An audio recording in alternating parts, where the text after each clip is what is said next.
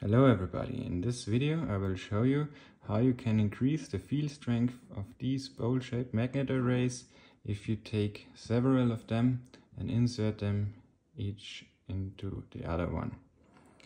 And I will show you what I mean by that. So I have three different sizes of these arrays. Here I have the large one, then I also have the medium-sized one, and I also have a small-sized one and I will later put them together so you can see how the field strength increases. But first off, let me show you how these are made, if you haven't seen that yet in my older videos. So this is a small one. I know this is in red, but this is just the opposite polarity as the blue ones. So the red ones are south poles facing inwards. So all of the magnets that you see here are south pole facing inwards. And here with the small one, we have 54 pieces of 5 millimeter neodymium cube magnets of the highest strength N52 grade and a 10 millimeter disc magnet at the center. So just for you to know how these magnets arrays are built. With the medium-sized one, I have 59 pieces of 8 millimeter cube magnets and a 20 millimeter disc magnet at the center and with the large one, we have 89 pieces of 10 millimeter cube magnets and a 25 millimeter disc magnet at the center. And these arrays are already quite powerful. I will show you them under the magnetic viewing film just quickly so you can get a rough idea of what the field looks like and also how far it extends as you can already see if you view this from the side like this then let's have a look at the smaller ones.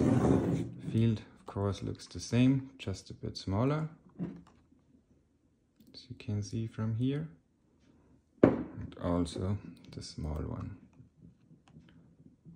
Like this. And what we are going to do is, we will measure the field strength at the center point with my Gauss meter that I have here. Just turn them on. And here the black dot is the Gauss probe itself.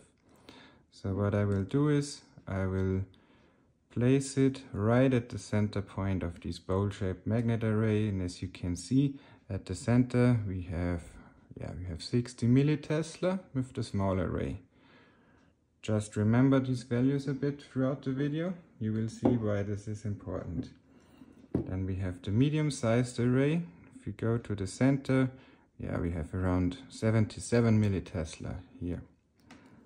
And also with the large one,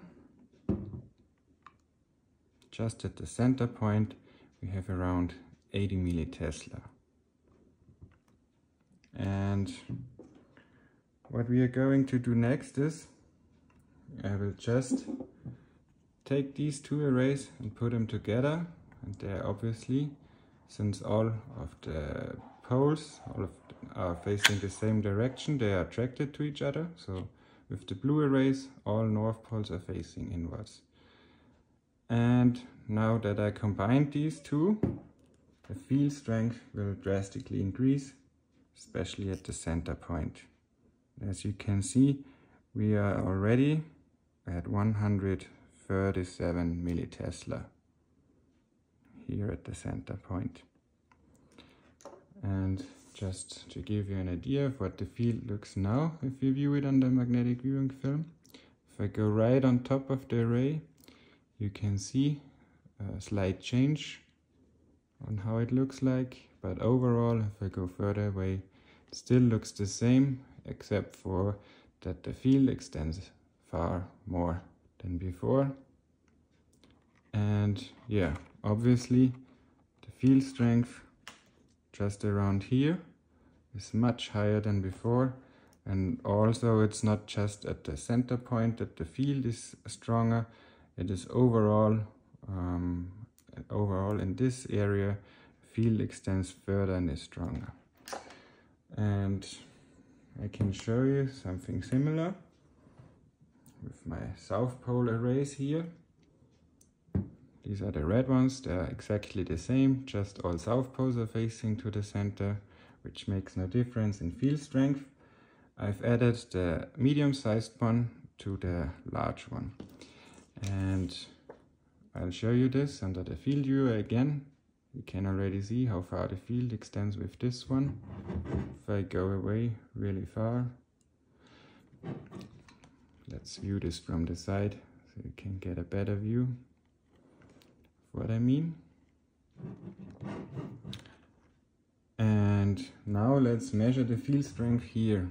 Remember before with just the large array or with the medium-sized array, we had 80 millitesla at the center and with the medium-sized 77 millitesla at the center. Now I will measure at the center again and we doubled that value by just putting them together. We have, yeah, 158 millitesla right at the center point. And yeah, you can already guess what's coming next.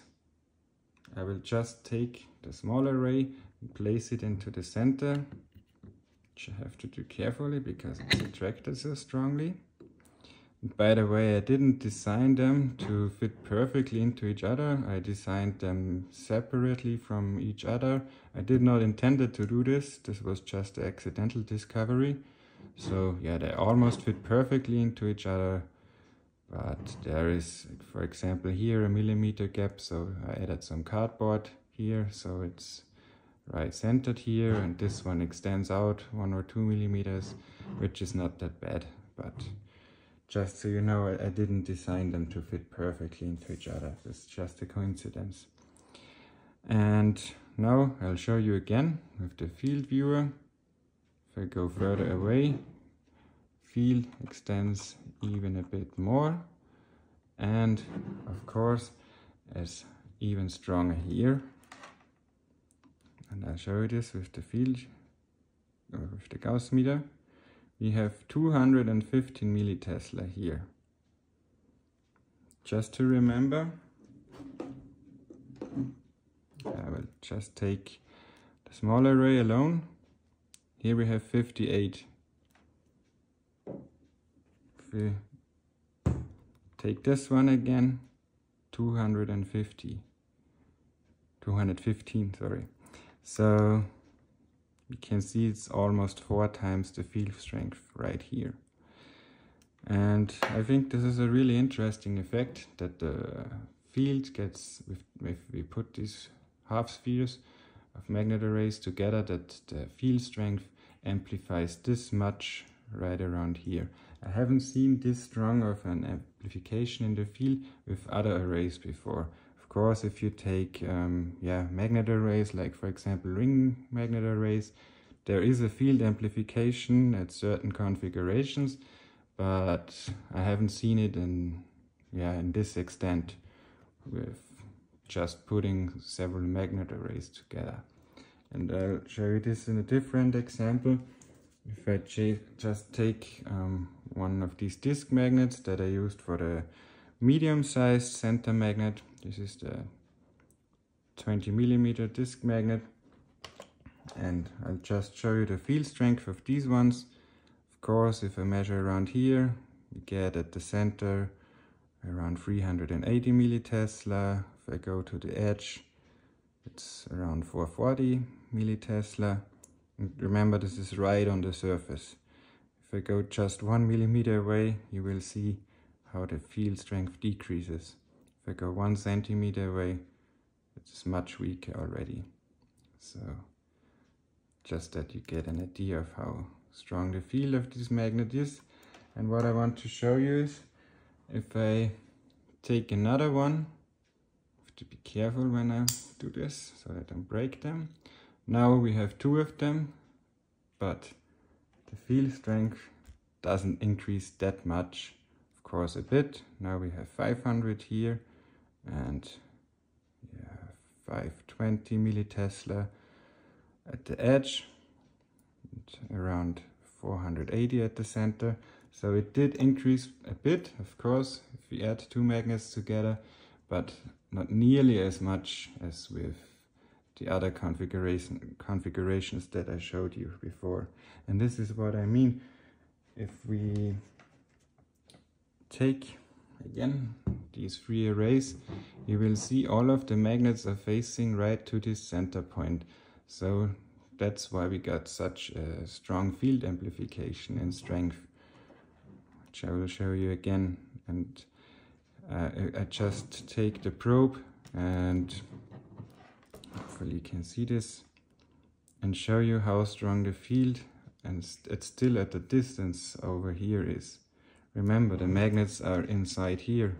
So the gap from magnet to the probe here is still yeah a few centimeters already. And we still have like it's quite heavy.